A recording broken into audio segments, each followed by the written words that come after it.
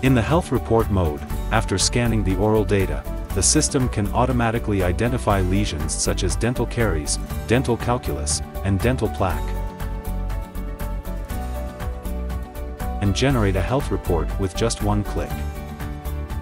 The platform enables automatic transmission of oral data to the platform, and data transmission can be completed by simply scanning a QR code, without the need for complex export, import or sending processes.